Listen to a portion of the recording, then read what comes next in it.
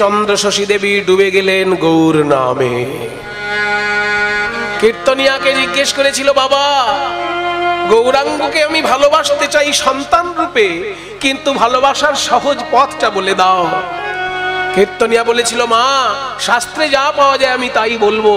শাস্ত্র বলছে, নাম চিন্তামণি কৃষ্ণ চৈতন্য রস বিগ্রহ, পূর্ণ, শুদ্ধ, নিত্য, মুক্ত অভিন্নত্বা নাম নামিনা। কৃষ্ণ নাম আর কৃষ্ণ, এই দুজনের মধ্যে কোনো ভিন্নতা নাই। কৃষ্ণ যেমন পূর্ণ, শুদ্ধ, নিত্য, মুক্ত, তার নামও তেমনি পূর্ণ, শুদ্ধ, নিত্য, মুক্ত। তাই তুমি গৌর নাম প্রাণ ভরে জপে যাও, গৌর হরি কৃপা করবে তোমায়। যেমন তেতুল তেতুল তেতুল বারবার বলা যায় না। তেতুল শব্দটা যদি আপনাদের বলতে দিই, কবার বলতে পারবেন? খুব বেশি বলতে পারবেন কি? দুই একবার বলার পরই তো তেতুল তেতুল তেতুল তেতুল তেতুল তেতুল তেতুল। মুখে জল এসে যাবে। কেন? তেতুল তো খাচ্ছেন না। শুধু শব্দটা বলছেন। মুখে জল এলো কেন? আসলে তেতুল শব্দটা হচ্ছে তেতুলকে মনে করে দেওয়ার একটা উপায়। তেতুল হলো টক। যখনই আপনি তেতুল শব্দটা বলছেন, মনের ভিতরে টক ভাব জেগে উঠছে, অমনি জিহ্বাগ্রে জল আসছে। তেমনি গৌরাঙ্গ মহাপ্রভু হচ্ছেন প্রেমময়। গৌর নাম যদি কেউ মুখে বলে, হৃদয়ে তার প্রেম জাগে, আর অমনি নয়নে তার প্রেম অশ্রু চলে আসে। গৌরাঙ্গ নামে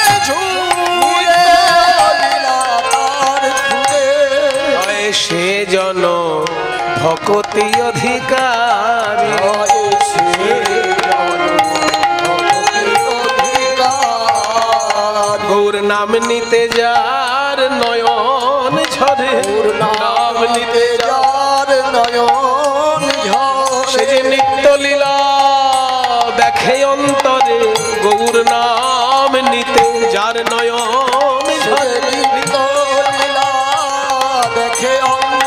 যে জন গৌর বলে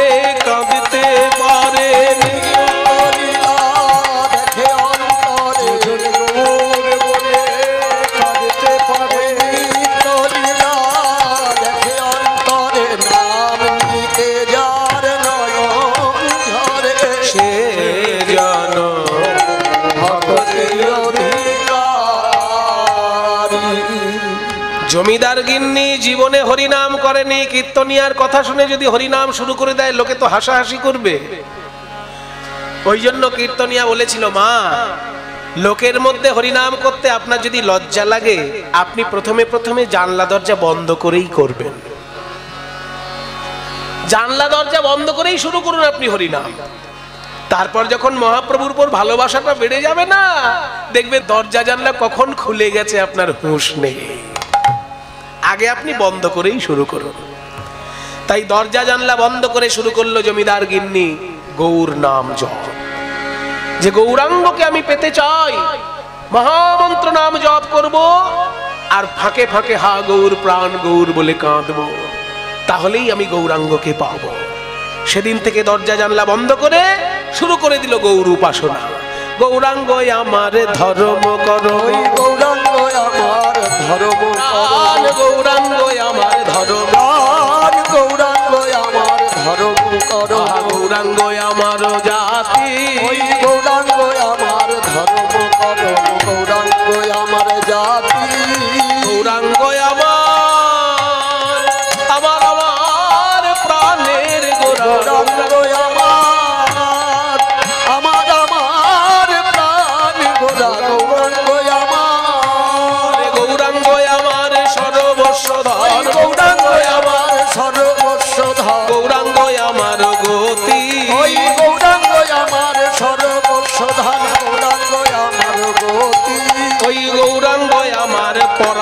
পুতলি গৌরাঙ্গ আমার পরাণ ওই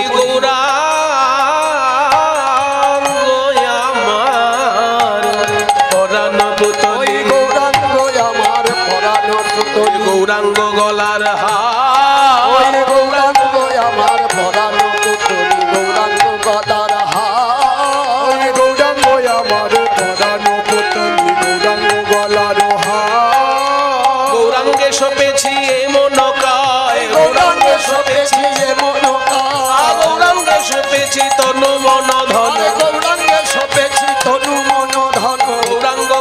করেছি সার। গৌরাঙ্গে সপেছি তনু মন ধন গৌরাঙ্গ করেছি সার। আমি গৌর বিনায়ান জানি না।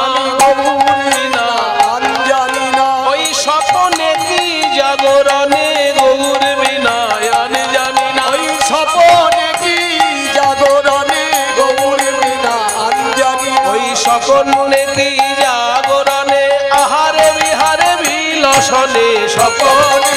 জাগরণে ওই আহারে বিহারে নিরজনে আমার আহারে বিহারে বিলসনে গৌরীনা জানি ওই গৌরাঙ্গ সপেছি গৌরাঙ্গ করেছি সারে। গৌরাঙ্গ করেছি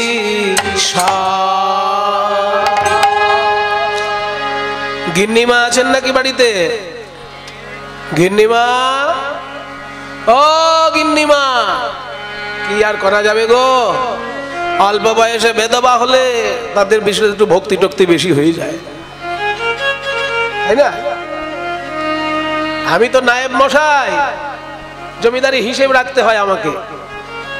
এই অল্প সময়ের মধ্যে হিসেবটা বুঝিয়ে না দিলে পরে আবার কত কি বদনাম হবে আমার বিরুদ্ধে তার ঠিক নেই। সেই জন্য জমিদার গিন্নিমাকে জমিদারিটা বুঝিয়ে দেওয়া দরকার। অল্প বয়সে বেদবা হয়েছে, স্বামী হারিয়েছে, সে তো এক যন্ত্রণা। তাই জন্য আবার ঠাকুর নাম বেশি শুরু করে দিয়েছে। যে জমিদার গিন্নি পুজোর ঘরে খুব বেশিক্ষণ থাকতে দেখিনি কখনো, সেই জমিদার গিন্নি পুজোর ঘরে ঢুকলে দু তিন ঘণ্টার আগে বাইরে বেরোয় না। কি এত পুজো করে ভগবান জানে? হ্যাঁ? আসলে অল্প বয়সে বেদবা হয়েছে না, সময়টা কাটাবে কি করে? সেই জন্য ঠাকুর ঘরে সময় কাটাচ্ছে। ও গিন্নিমা! আমি নায়েব মশাই এসেছিলাম, একটু বুঝিয়ে দিতে চাই হিসেব। আপনার পুজো টুজো যদি থাকে, আর একটু পরে করবেন, একটুখানি বুঝে নিন আগে। এই যে নায়েব মশাই, এসেছি আমি। বলুন কি বলছেন? বলছিলাম কি, জমিদার বাবু তো অকালে আমাদেরকে ছেড়ে পরলোক গমন করেছেন। তা আমরা হাজার কান্নাকাটি করলে উনি তো আর ফিরে আসছেন না। কিন্তু আমার কর্তব্য এই জমিদারিটা আপনাকে ভালো করে বুঝিয়ে দেওয়া। তাই আমি বুঝাতে এসেছি। শুনুন জমিদার বাবু খুব ভোগী মানুষ ছিলেন, খুব বিলাসী মানুষ ছিলেন, আর জমিদারি করতে তিনি খুব ভালোবাসতেন। তাই যেখানে পেতেন জমিদারি কিনতেন, জায়গা জমি কিনতেন, বুঝেছে? এই কৃষ্ণনগরে এত বড় জমিদার হওয়া সত্ত্বেও কোথায় ধ্যাত ধরে গোবিন্দপুর, বীরভূম জেলায় শিউড়ির কাছে গিয়ে একটু গ্রামের অংশ কিনে বসে আছে। বীরভূম বীরভূম জেলায় শিউড়ির কাছে কড্ডা গ্রামটা উনি কিনেছেন। ওই কড্ডা গ্রামের যেসব প্রজা, তারা আমাদের প্রজা। কাজী ওরা খাজনা দিচ্ছে না দু বছর ধরে। আমি দু একবার বলতে গেছি, কিন্তু আমাকে দেখলেই ওরা আরও চটে যায়। সেই জন্য দু বছর ধরে খাজনা পাওয়া যাচ্ছে না ওদের কাছে। তা আপনি সবে সবে বেদবা হয়েছেন। আপনাকে দেখলে যদি ওই প্রজাদের একটু দয়া মায়া হয়, খাজনাটা যদি দেয় কারণ সবসময় লাঠি পেটা করে খাজনা আদায় করতে তো ভালো লাগে না। যদি আপনাকে বেধবা দেখে, আপনার মুখের মিষ্টি কথা শুনে প্রজারা খাজনাটা দিয়ে দেয়, তাহলে আমরা রাজার কাছে হিসেবটা ঠিক সময় মতো দিতে পারব। ব্যাপারটা বুঝে নিন ভালো করে। সেই যুগে জমিদাররা ছিল রাজা আর প্রজার মাঝখানে মধ্যস্থতা করার মানুষ। প্রজার কাছ থেকে পয়সা আদায় করে রাজাদের সেরেস্তায় জমা দিয়ে আসতে হতো জমিদার বাবুদের।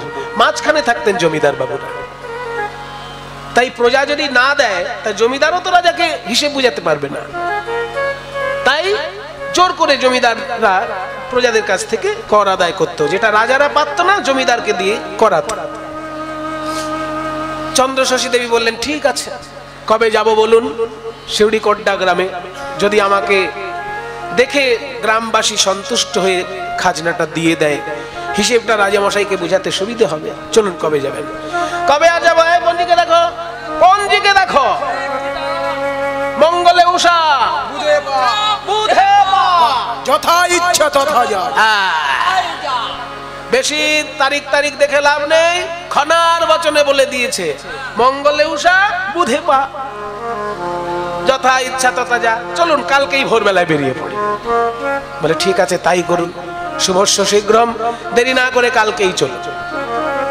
পরের দিনই কৃষ্ণনগর থেকে পালকি চলেছে বীরভূম জেলার উদ্দেশ্যে।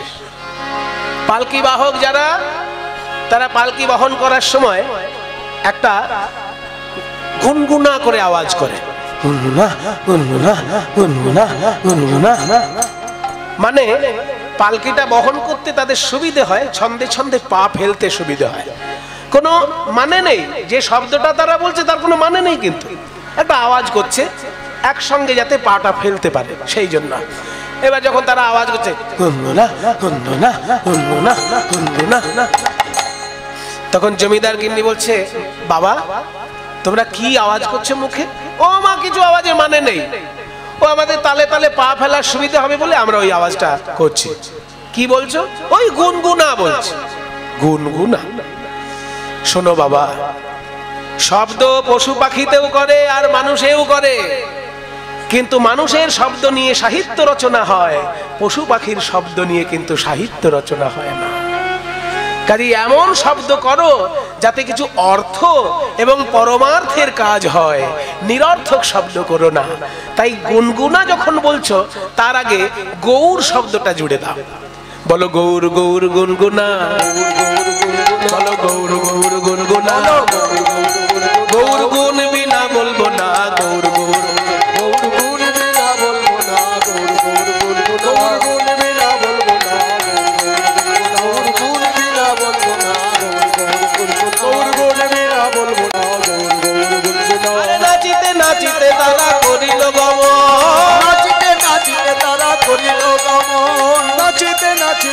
তারা করিল গমন নাচিতে নাচিতে তারা করিল গমন বীরভূম জেলায় আসিল ভারত বীরভূম জেলায় আসি দিল দর্শন বীরভূম জেলায় আসি দিল দর্শন বীরভূম জেলায় আসি দিল দর্শন বীরভূম জেলায় আসি দিল দর্শন আনন্দ ধরে না আনন্দ ধরে না আনন্দ ধরে না কোন জেলায় এসে পৌঁছেছি? কি জেলা? বীরভূম জেলা। এই বীরভূম জেলার বৈশিষ্ট্য কি? অনেক গুণ বীরভূম জেলা। মায়েরা জেনে রাখুন নানা জায়গায় তো বেড়াতে যান। আপনাদের চব্বিশ পরগনা যেন সব থেকে বিখ্যাত হচ্ছে গঙ্গা সাগরের জন্য। দক্ষিণ চব্বিশ পরগনা উত্তর চব্বিশ পরগনা আগে ছিল গোটা এখন তো দুটো ভাগ। তাই দক্ষিণ চব্বিশ পরগনা সব থেকে বেশি বিখ্যাত কিসের জন্য? গঙ্গা সাগরের জন্য। সারা ভারতের মানুষ এই দক্ষিণ চব্বিশ পরগনায় আসতেই হবে, কারণ হর তীরথ বারবার বার গঙ্গা সাগর একবার। এটা সারা ভারতের লোক জানে। যে বাবা, যেখানেই যত তীর্থ করি, জীবনে একবার অন্তত গঙ্গা সাগরে যেতেই হবে।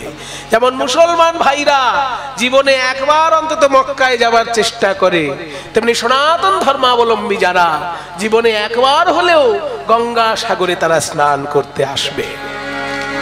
তাই দক্ষিণ চব্বিশ পরগনা যেমন গঙ্গা সাগরের জন্য বিখ্যাত, ঠিক তেমনি বীরভূম জেলা কিন্তু অত্যন্ত বিখ্যাত তীর্থস্থান হিসেবে।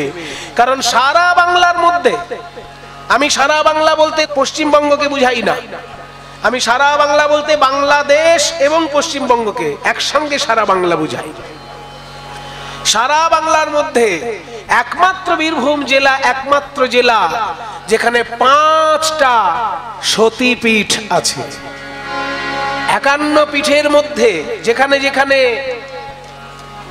সতী দাক্ষায়নীর অঙ্গ পড়েছিল বিষ্ণুর সুদর্শন চক্রে বিদীর্ণ হয়ে, বিচ্ছিন্ন হয়ে।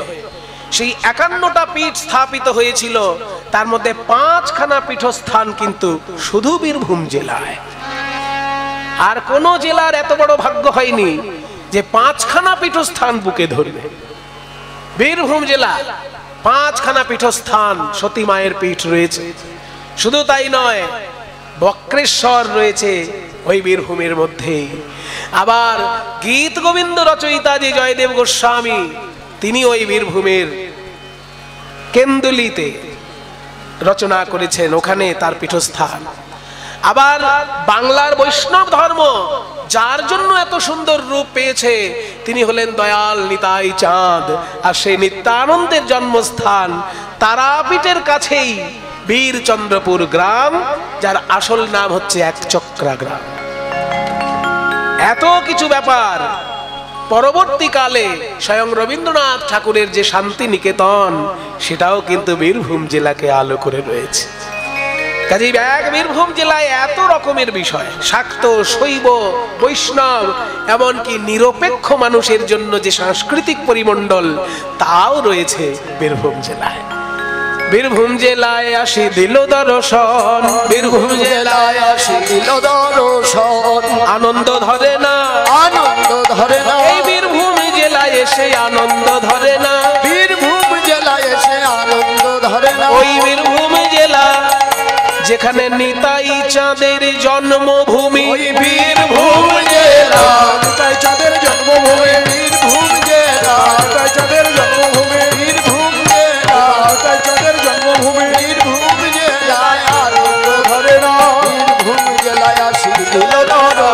বীরভূম জেলায়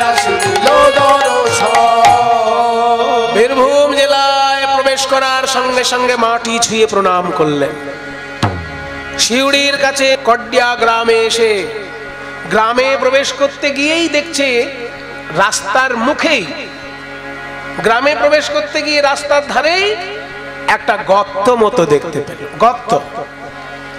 গর্ত দেখে বলছে নায়েব মশাইকে নায়েব মশাই? ও নায়েব মশাই। বলুন গিন্নিমা। এই গ্রামে প্রবেশ করার পথে এত সুন্দর ঢালাই রাস্তা দেখছে। কিন্তু এই গ্রামে প্রবেশ করার মুখে এত বড় একটা গর্ত কেন?